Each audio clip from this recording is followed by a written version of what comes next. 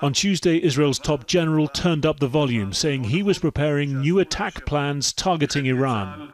Wow, tension is building between Iran and Israel. But did you know, when you look in the Bible, Iran and Israel used to be friends. When you look at Cyrus the king, he not only set the captives free, he gave them money to go back and build the temple.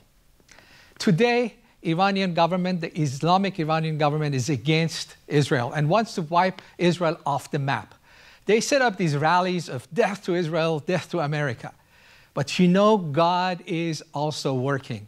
He is changing the hearts of Iranians, even Muslims, towards Israel.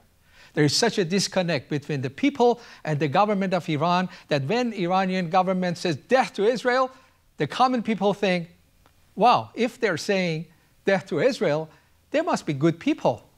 And then they say, what has Israel done to us? They have not done anything to us. You are the ones. You, the government, you have ruined our lives. We should not hate them, we should hate you. Yes, God is changing the hearts of Iranians toward Israel.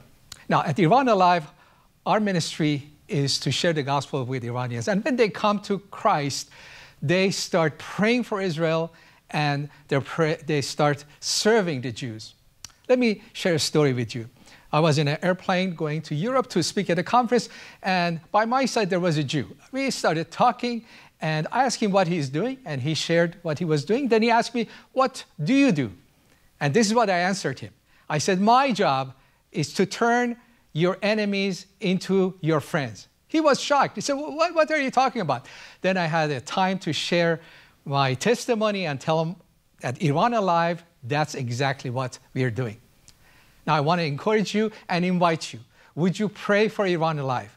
And would you join us, stand with us, so we can share the gospel with Iranian people, so we can turn their hearts towards Israel and the Jews? My friends, you want to help Israel? Then help Iran. Help us transform the hearts of suicide bombers filled with hatred into peacemakers. Would you join us with your prayer and your support? Together, we can transform the enemies of Israel into its friends. I look forward to hearing from you. God bless you.